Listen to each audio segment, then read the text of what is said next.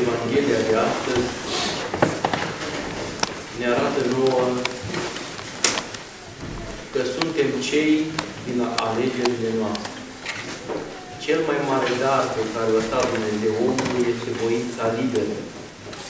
Datorită acestei voințe, noi putem să alegem să fim cu Dumnezeu sau cu diavolul. Uitați-vă, frățile voastre, câtă suferință și cât necaz în acest om demonizat în Evanghelia de astăzi.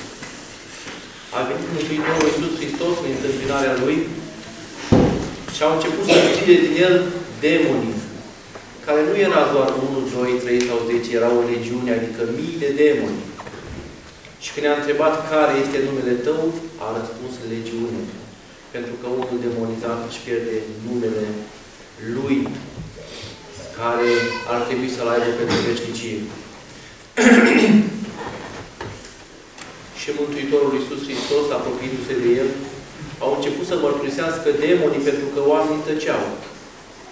Pentru că oamenii nu mai puteau să-L recunoască ca Fiul al lui Dumnezeu, să-L recunoască ca Mesia, să-L vadă pe El cine era cu adevărat. Și dacă au tăcut oamenii, au început să mărturisească demonii. Ce ai cu noi, Fiule al lui Dumnezeu? Ai venit mai înainte de vreme ca să ne chinuiești? Dovadă că va veni o vreme în care va fi o judecată, se vor separa cele bune de cele rele, oile de capre.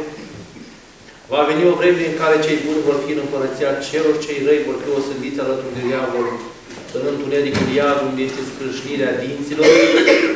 Demonii știu lucrul acesta, au crezut că a venit vremea și s-au cutremurat. Și au început să zică, ce ai cu noi, Fiul lui Dumnezeu? Ai venit mai înainte de vreme ca să ne chinuiești? Gândiți-vă, frățile voastre, că au cerut voie și îngăduință. Dă-ne voie să intrăm în turma de porci. Nu pot face ce vor. Nici demonii și nici oameni nu pot să facă ce vor ei. Dacă nu li se îngăduie lor de sus, de la Dumnezeu. Niciun fir de păr din capul vostru se va mișca fără zgăduința lui Dumnezeu. și iată, iubiți credincioși, Mântuitorul îngăduie. Se duc în turma de porci, dar nu stau demonii acolo, ci se duc în inima celor care pășteau, de fapt, porcii sau aveau porci în proprietatea lor, stăpânilor. Pentru că între porci și inima acelora era o strânsă legătură. Acolo era inima lor, unde era comoara lor. Porcii sunt simbolul patimilor care se tăvălesc în morcir la acestei lumi. Și în loc să se sizeze că fratele lor s-a vindecat, în loc să se sizeze minunea pe care a făcut-o Dumnezeu, în loc să vadă că acesta a început să stea la picioarele Mântuitorului nostru Iisus Hristos ca un om întreg, în loc să vadă adevărul și binele, iată, iubiți credincioși, că au ales apostazia. Apostazia este lepădarea de Dumnezeu. Apostazia înseamnă să rămâi în gândirea ta proprie și să nu supui voința voii lui Dumnezeu. Au ales schisma, iubiți credincioși. Schisma este depărtare de Dumnezeu și de Biserica Lui. Adică alegi tu să slujești după voia ta.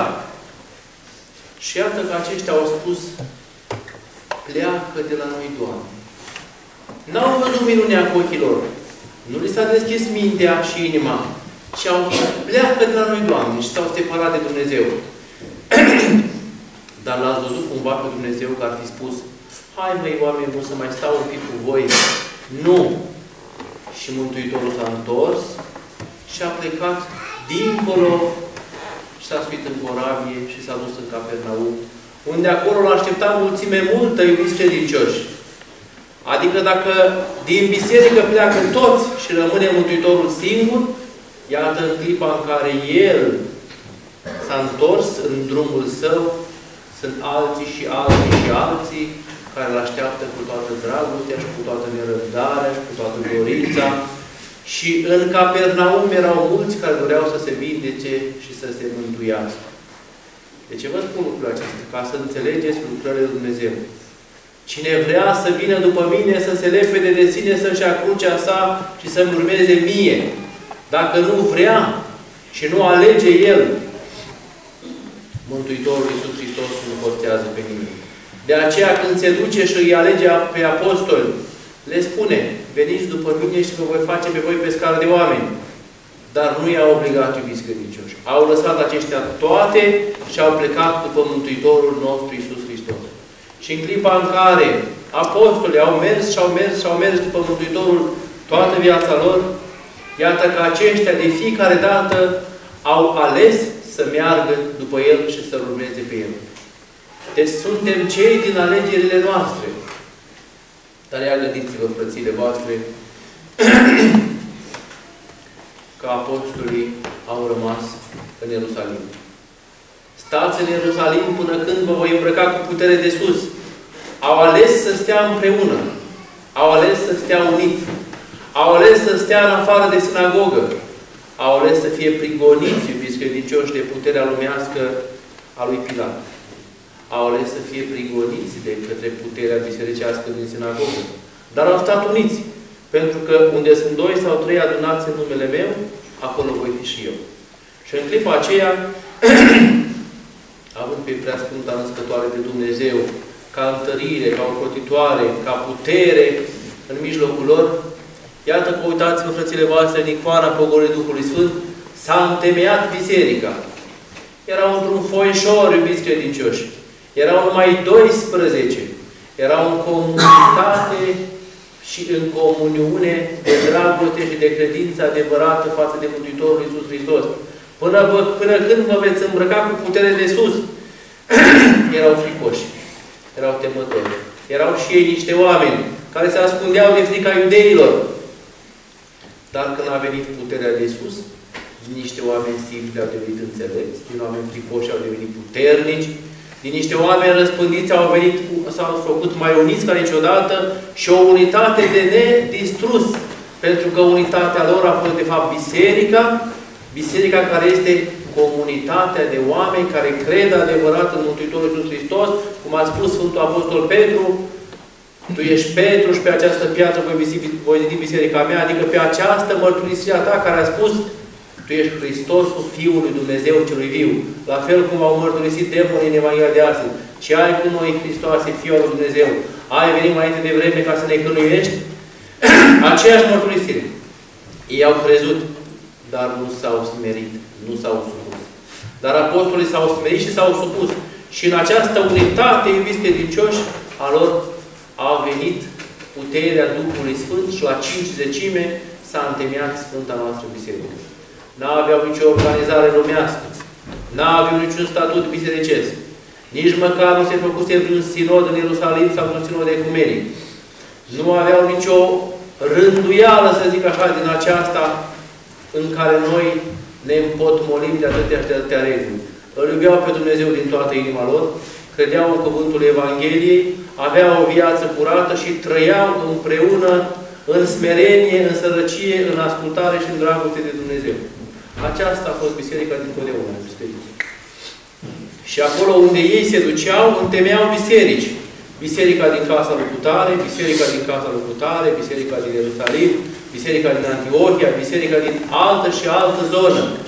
Unde erau câțiva creștini care credeau cuvântul Evangheliei vestit de ei, n-aveau atâtea acoperăminte cum avem noi acum clădiri și catedrale, nu aveau atâtea statute bisericești și forme de organizare, nu aveau niciunul din canoanele bisericii care sunt acum, credeau cu toții în cuvântul Evangheliei și se, făceau, se făceau minunile sub lor.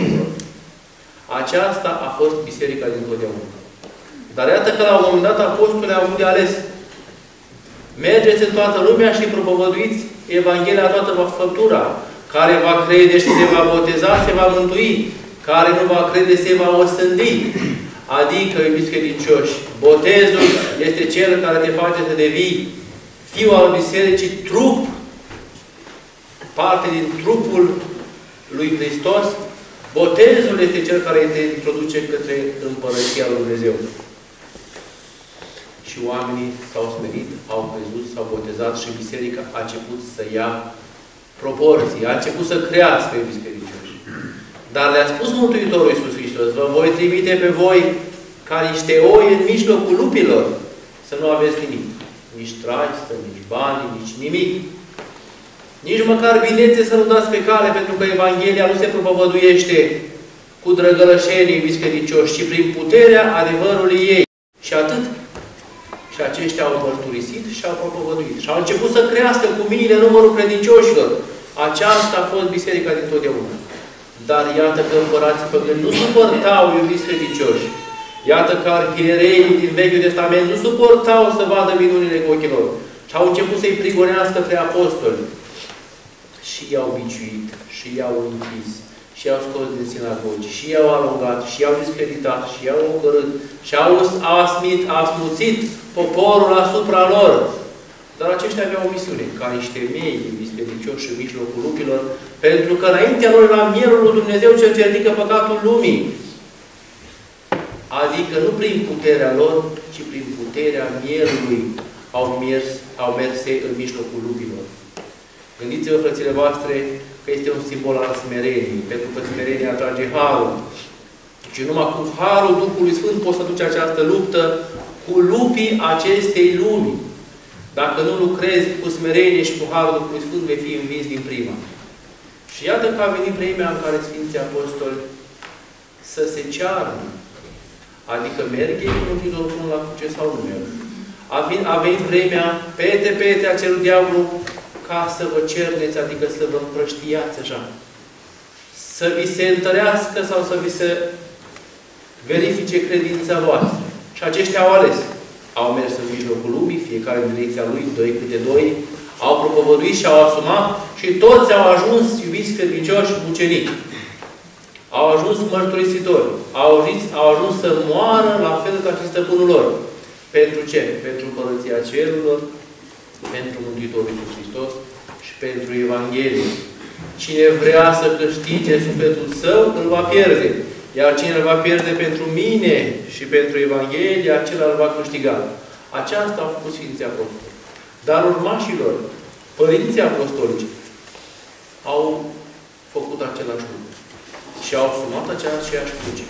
În mijlocul păgânilor și a stăpânitorilor lumii acestea, au mărturisit și au stat și au ținut biserica lui credincioși în prigoană și în catacombe. Nu 10 ani, nu 50 de ani, sute de ani. A fost în lupta aceasta cu stăpânitorul lumii acesteia. Au ales fiecare dintre ei să fie mucenici. Au ales să-și lase familia să se ducă la moarte de bunăvoie. Au ales pentru că suntem cei din alegerile noastre. Și în clipa aceea, iubiți credincioși, îi vedeți frățile voastre pe toți, în calendarul bisericii noastre. Ba mai mult decât atât. Chiar Sfântul Apostol Iacov, ruda Domnului, cel care îl, îl cinstim astăzi, a murit și el ca martir în Ierusalim. și a urmat perioada în care a venit Sfântul Împărat Constantin și Elena. A ieșit biserica din catacombe. Au început să se țină sinoadele ecumenice. Au început să se statornicească învățătura de credință. Au tras o gură de aer. Dar de la prigoana aceasta au trecut la o prigoană și mai mare. Pentru că odată cu sinoadele ecumenice, de fapt, aceștia s-au adunat să lupte cu un vrăjmaș mai puternic decât cel care vrea să omoare trupul. Nu vă teme de cei care omor trupul de cei, decât de cei care omor sufletul. Adică cu vrăjmașul acesta numit erezie. Și au început să curgă unul după altul ereziar din Larie, Macedonie și toți ceilalți apolinari în istorie, unul după altul au început să curgă, să lovească biserica din interior. Dar, iubiți credincioși, cu puterea Duhului Sfânt s-au adunat ierarhii, în soboare și-au statornicit și dogmele, și canoanele, și învățăturile de credință, și crezul pe care l-am ținut noi de 2000 de ani. Dar nu a stat biserica într-o liniște din tare. Pentru că, uitați-vă, frățile voastre, odată ce a ieșit din catacombe, a urmat o altă ispită. A urmat amestecul dintre biserică și stat. A urmat vulturul bicefal. A urmat, iubiți credincioși, două capete și în același trup. Și atunci se pune întrebarea. Au reușit să păstreze cuvântul Domnului care spune Dă-i cezarului și al cezarului și lui Dumnezeu ce este al lui Dumnezeu? A fost tot timpul la limită, iubiți credincioși, această ieșire din catacombe. Biserica a început să aibă un confort, a început să aibă o tihnă, a început să aibă o liniște. Dar unii dintre ei au ales altceva. Biserica nu stă decât pe cruce. Unde nu este cruce, nu este biserica, iubiți credincioși. Și au început alt fel de mucenicie. Mucenicia ascezei. Și s-au dus la capătul unui sat. Unu, doi, trei, ba un pusnic, ba mai mulți adunați la, la un loc și au început să-și asume crucea ascezei și a misticii, iubiți credincioși, ca să-L aibă pe Hristos în inima lor. Și s-a întemeiat monahismul și au ales de bunăvoie să devină monahi. Dar iată că ne amintim de Sfântul Vasile, de Sfântul Grigorie, de Sfântul Ioan Gură de Aur, care nu cruțau pe nimeni, iubiți credincioși, nici pe împărat, nici pe împărăteasă, nici pe boier, nici pe mai mare lume acestea, și spuneau adevărul. Au ales de bunăvoie. Oare spun sau nu spun ce trebuie să spun? Dar dacă spuneau adevărul, ce s-a întâmplat, iubiți credincioși? Au fost dați din funcția de patriarh, jos, au fost dați din funcția lor de clerii, să zic așa, pentru că au fost băgați în sinoade, care i-au zândit tâlhărești în vremea aceea și au fost prigoniți cu ani și iar puși scaunele lor și iar prigoniți și iar puși. Uitați-vă la Sfântul Atanasie, iubiți credincioși. Câte n-au tras acești ierarhi pentru a păstra învățătura de credință. Deci a fost și ucenicii, oameni simpli, a fost și călugării care au fost mărturisitori, a fost și ierarhii care au fost iubiți credincioși prigoniți.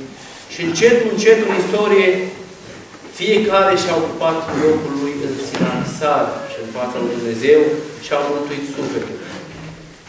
Au fost prigoane și prigoane.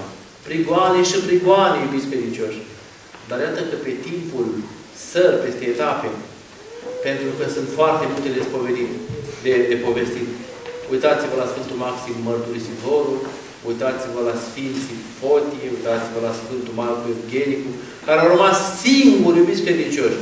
Au mărturisit, au fost excomunicați, au fost dați afară, pentru că mărturiseau credința. De ce? Pentru că cei care erau la conducerea bisericii s-au obișnuit cu confortul, s-au obișnuit cu darurile împăratului, s-au obișnuit cu acest amestec și cu acest tandem și nu mai vreau să amesteci, să, să apere adevărul. Și au început să facă compromis, acceptând a doua, a treia cununie, cununia cu frate, cu soră și cu toți soiul de nemuneli pe care le aveau împărații. Iar cei care nu vreau lucrul acesta au mărturisit și au fost prigoniți.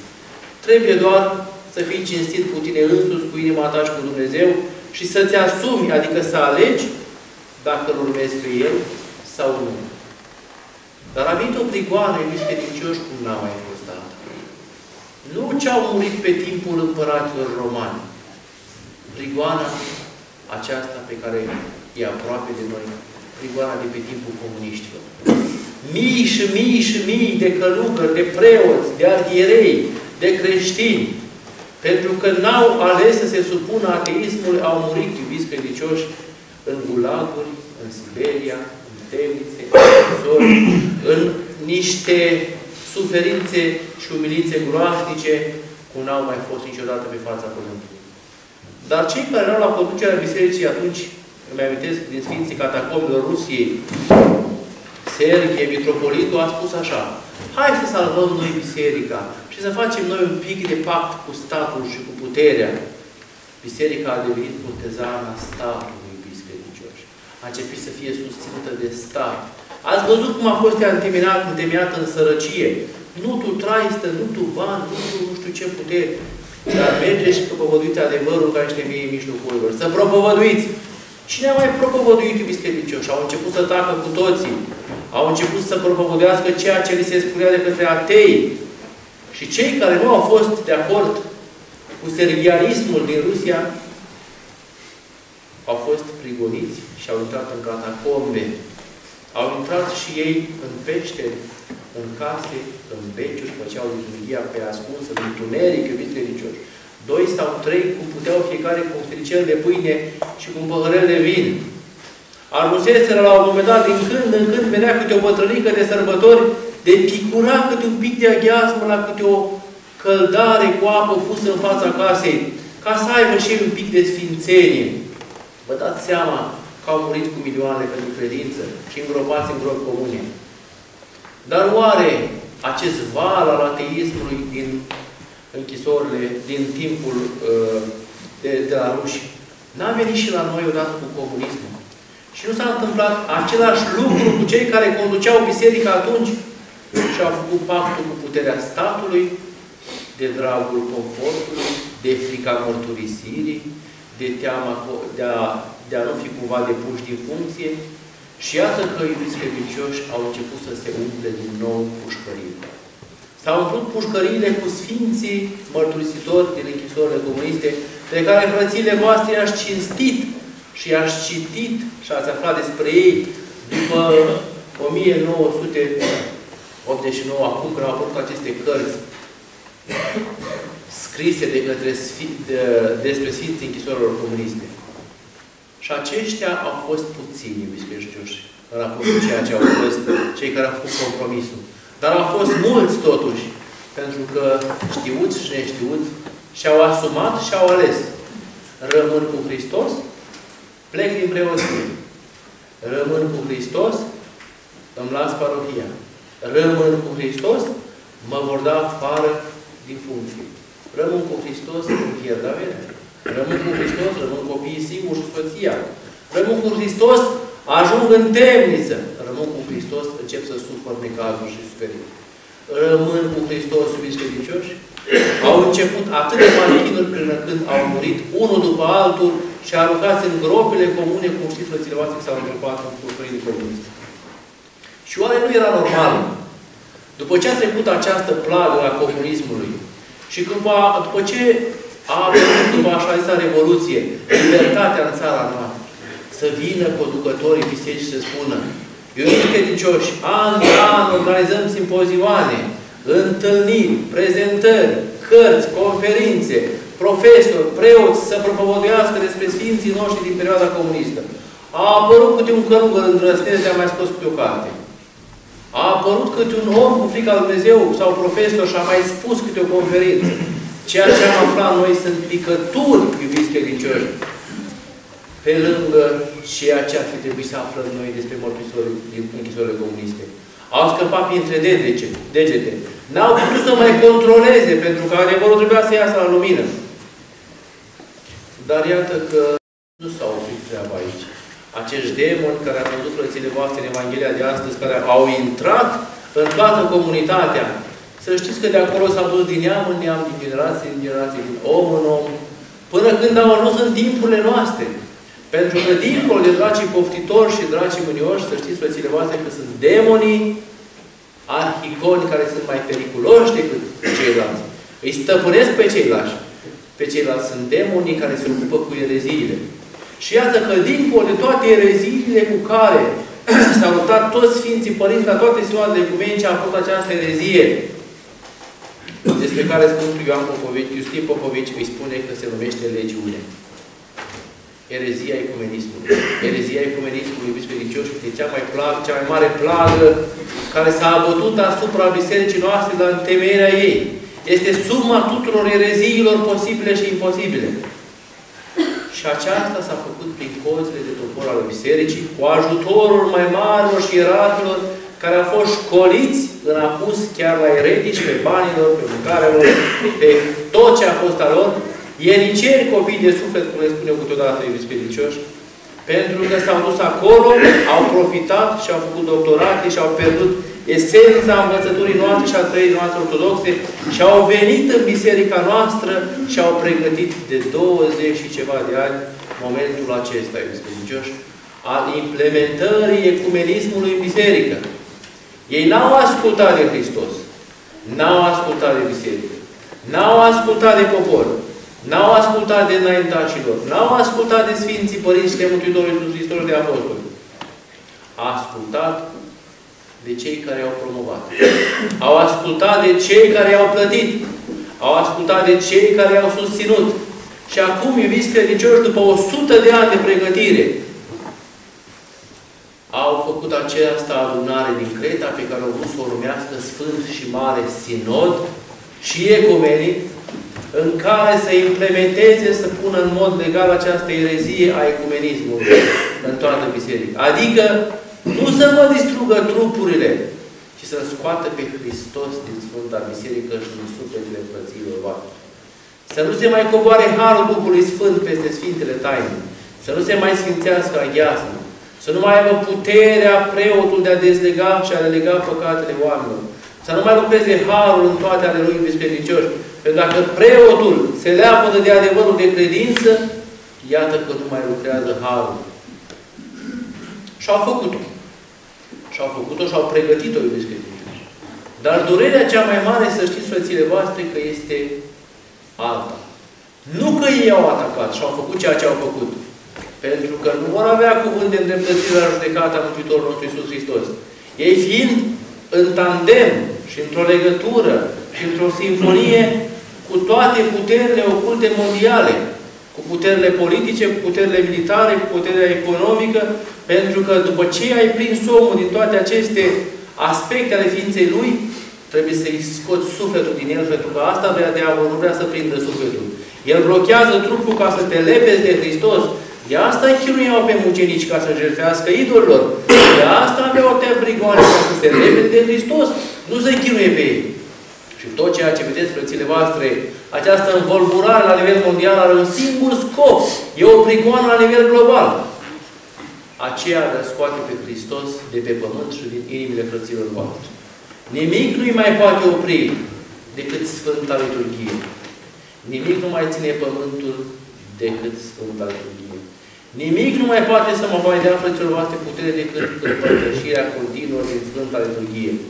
Și atunci, cum să facă demonul bisericioși? A strecurat erezia prin sinodul ecumenic, o implementează la toți preoții care ascultă de frică, implementând erezia, nu se mai coboară harul, nu mai au putere la Sfânta Liturghie și iată că a căpătat putere totală asupra, asupra Pământului, pentru că nu mai are liturghia putere. Nu o exclude ca altă dată, o deviază. Îi păstrează forma și îi deviază conținutul, adică nu se mai coboare Harul Duhului Sfânt peste Sfintele Taine. Încă se mai coboară la preoți, iubiți credincioși în biserică, pentru economia lui Dumnezeu, pentru pronia lui, pentru dragostea lui față de oameni și pentru credința frăților voastre. Dar va veni vremea și nu este departe, în care fiecare va fi pus în situația să aleagă și Mirian, și preot, și călugăr, și episcop, ești sau nu ești cu Hristos? Deci vedeți, frățile voastre, cam ce vremuri trăim noi. De ce v-am explicat lucrul acesta? Pentru că am vrut să ajung în punctul în care și frățile voastre și noi suntem puși în situația de a alege. Ascultăm de Hristos sau de oameni? Le pădăm tot și mergem cu El în catacombe, să zic așa, în catacombe, mai mult simbolic vorbind. Pentru că singura catacombă posibilă este inima omului. Rămânem noi în Ierusalim. Fă bine, Doamne, într-o bunăvoirea Ta Sionului și să se zidească zidul Ierusalimului. Rămânem noi în Ierusalim în unitate unii cu alții și în credința cea adevărată în Dumnezeu? Sau ne împrăștiem pentru a ne scăpa sufletele? Și iată, iubiți credincioși, după ce a avut loc sinodul din Creta, știți, frățile voastre, că nu vă spun o noutate, am luat atitudine și am oprit pomenirea episcopului locului. Nu-i mai dau numele. Pentru că care este numele tău? Legiune, s-a spus în Evanghelia de astăzi. Ce este în spatele tău? O legiune. Pentru că mulți demoni au lucrat ca tu să semnezi acolo în creta trădarea bisericii și implicit atâtea mii și mii de preoși de creștini care suferă din cauza trădării tale. Și atunci, iubiți credincioși, am luat atitudine și am trimis scrisori, și am trimis memorii, și am trimis îndemnuri și la episcopie, și la frații noștri stareți, și la creștini. Oameni buni, treziți-vă! Ecumenismul este erezia ereziilor. S-a legalizat ecumenismul în Creta, s-au recunoscut celelalte regiuni, s-au recunoscut ca și biserici, vă dați seama, frăților voastre. Ce rătăcire la nivel mondial. Iar acest Consiliu Mondial al Bisericilor nu este altceva decât Consiliul Mondial al Ereziilor. Adică toate regiunile s-au adunat la un loc. Pentru că se duce o luptă finală care va dura va vrea Bunul Dumnezeu. Ceea ce pățiți, frățile voastre, în viața de zi cu zi, pentru că simțiți lucrul acesta și spuneți la spovedit, Părinte, nu e bun. Părinte, vedem cu, cu ochii noștri cum din ce în ce mai rău. Părinte, parcă nu se mai leagă lucrurile, n-a fost așa, nu prea a fost așa până acum. Ceea ce simțiți frățile voastre în planul fizic nu este altceva decât un efect al trădării lui Hristos în planul spiritual. Au căzut porci în planul fizic, dar de fapt a fost trădarea în planul spiritual când au spus pleacă de la noi, Doamne, înseamnă apostazie generală înainte de înscăunarea lui Anticrist. Și iată, iubiți credincioși, că nu suntem surprinși, nu suntem, să zic așa, speriați, dar conștienți a venit și această hârtiuță de la Sfânta Episcopie, prin care ni se face cunoscut prin prezenta câmbadă deciziei 155 din 2016, se încetează angajarea în postul de ecumen la schitul adormirea Maicii Domnului, Comuna Vituș de Bacău. Întrucât prin memorul depus la Cancelarea Centrului Eparhial și înregistrat cu numărul 1173, ați decis deliberat să nu mai pomeniți la slujbe pe chiriatul locului, vă facem vinovat de schismă, care după prevedere de articolul 11 a regulamentului așa, și înceap să explică ei, dau niște rânduieli și niște argumente care sunt, iubiți credincioși,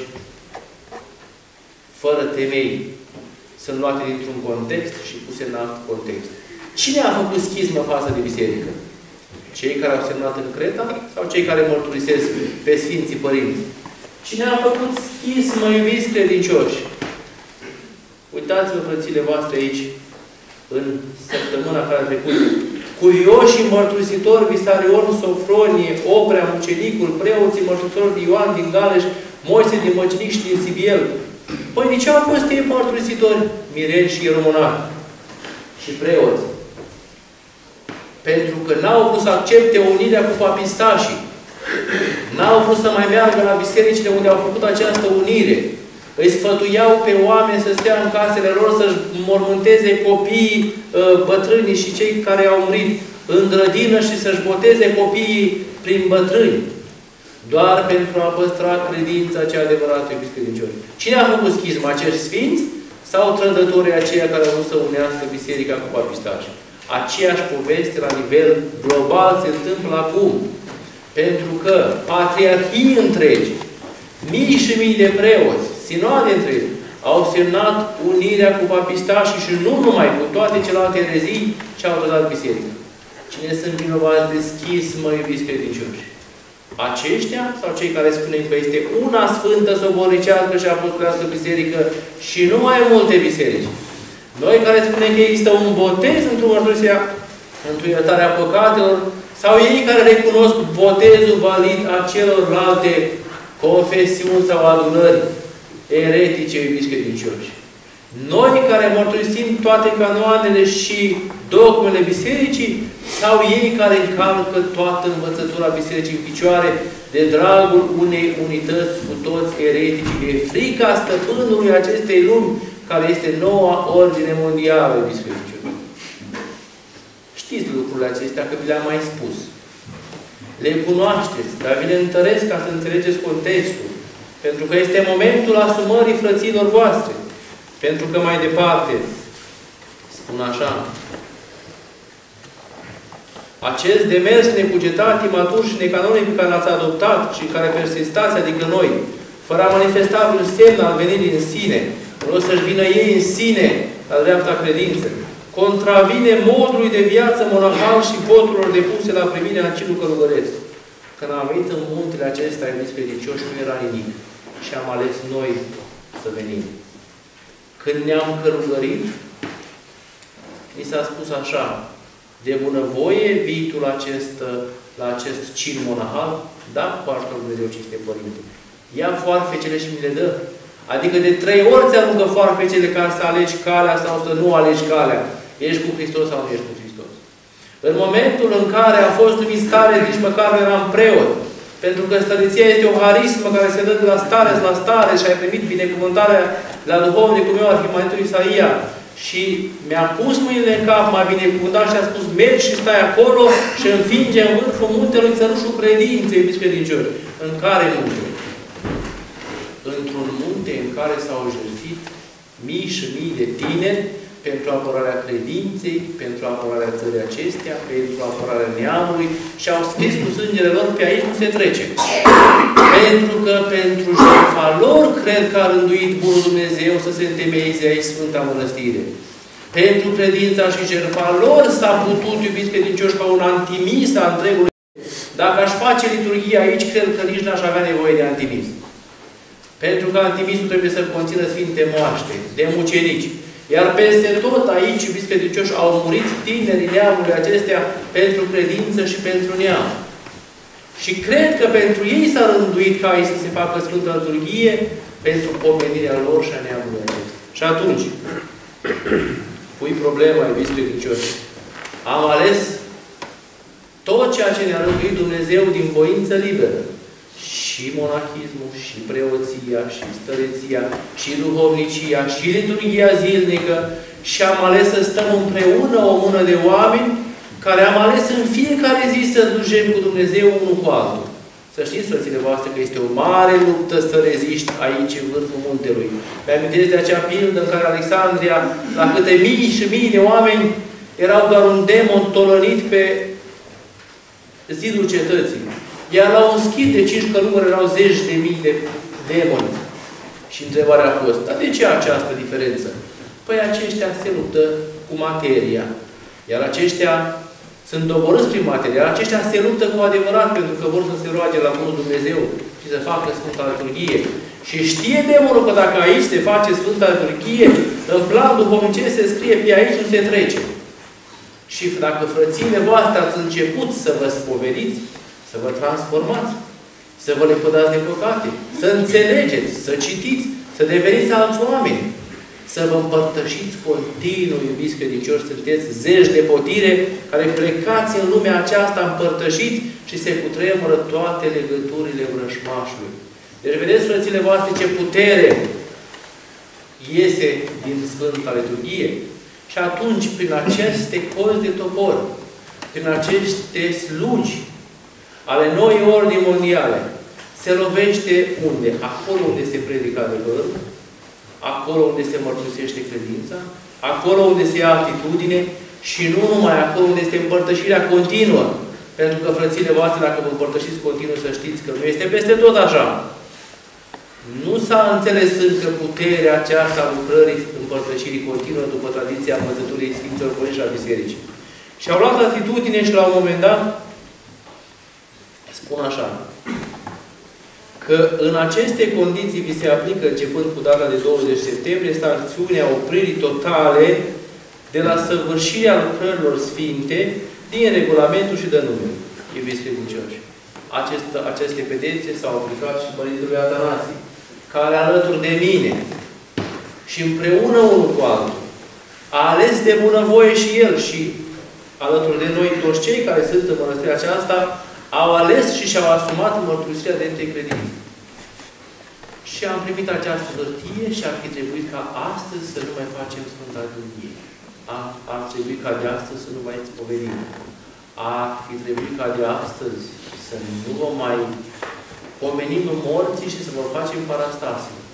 Ar trebui să nu mai coborâm foc din cer în muntele acesta, iubiți credincioși. Și atunci punem întrebarea. Alegem. Ne salvăm sufletul sau îl mărturisim pe Hristos? Ne salvăm noi confortul sau îl mărturisim pe Hristos? Ne oprim de la Sfânta Liturghie ascultând de trădători, de generale trădători, sau suntem niște soldați care mergem în continuare înainte ascultând de Împăratul Cerului și a Pământului? Și ne-am asumat lucrul acesta și mulțumesc și dau slavă lui Dumnezeu că în noștri aceasta, iubiți credincioși, puțini cât suntem, toți au același gând. Și dau slavă lui Dumnezeu că frățile voastre ați înțeles ceea ce v-am propovăduit de ani de zile, că se va ajunge aici. Pentru că n-avea cum. De câți ani mă vorbesc eu despre ecumenism? ca erezie de cel puțin 10 ani.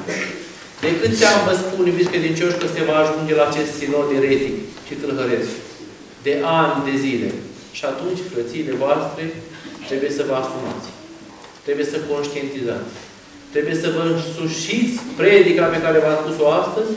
Dacă continuăm să mergem împreună alături de Hristos în această luptă care va începe și nu este o luptă ușoară, este o luptă aprigă, este o luptă vicleană, să știți, frățile voastre, pentru că arhiereii au încercat cu ajutorul puterii statului, a oștilor romane, să îl omoară pe Hristos, să-L ucidă pe Cel care era adevărul. Nu prin ei înșiși. Vor încerca cu puterea statului să ne scoată în această lucrare, pentru că demonul lucrează de mii de ani în același fel. Citiți viețile Sfinților și vedeți că se repetă în forme diferite același lucru. Atunci, frățile voastre, trebuie să vă sfătuiți cu conștiința voastră, cu familia voastră, cu tot ceea ce aveți voi. Și să vedeți dacă vă asumați, dacă mergem împreună sau nu pe această cale a mărturisirii. Și spunea un părinte așa, nu chem pe nimeni, nu țin pe nimeni, nu arunc pe nimeni, de aceea aveți binecuvântarea noastră de a merge cu toată puterea în această luptă a mărturisirii împotriva ecumenismului, dar și cei care vor să-și aleagă alt duhovnic, să meargă la altă mănăstire sau o altă biserică, considerând din alegere liberă că alta este calea, are binecuvântarea noastră, să nu fie legat de mine, să nu vină la mine să ceară deslegare particulară, că vrea să meargă în altă direcție, pentru că fiecare este liber să-și urmeze conștiința. De aceea, iubiți credincioși, în momentul acesta să știți, frățile voastre, că nu vă sfătuiesc, ci vă poruncesc să nu aveți o atitudine de victime sau de vocitoare. Pentru că ar trebui să fiți bucuroși că ați fost în conjunctura în care să aflați adevărul. Sunt o grămadă de creștini care n-au auzit de sinodul din Creta.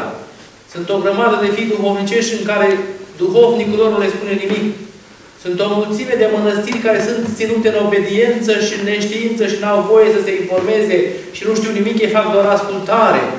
Suntem acuzați aici de neascultare, biserici. Atât. Nu facem ascultare de cei care au semnat erezie. Uitați ce, ce au putut și ei să iei și ei în voce. Păi dacă suntem eretici și schismatici, de ce nu ne definește erezia?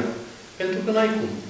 Dacă suntem schismatici față de biserică, definește ce este biserica așa să vezi că tu ești schismatic. Cel care arunci peste celălalt minciuna. Și durerea cea mare, iubiți credincioși, că și-a băgat dragul coada în familia noastră, în biserica noastră, în oștile noastre și s-au împărțit. S-au împărțit unii care sunt la altar așa, alții sunt altfel. Unii din noștri sunt cu ecumenismul, alții nu sunt cu, cu ecumenismul.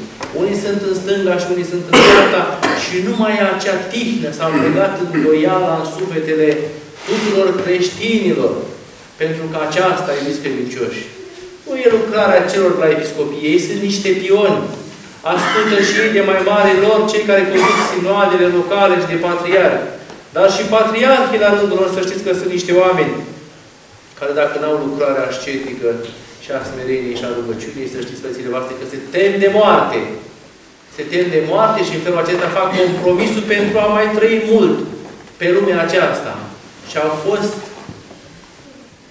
atacați, au fost legați de forțele acestea mai mari decât ei, care sunt forțele oculte internaționale.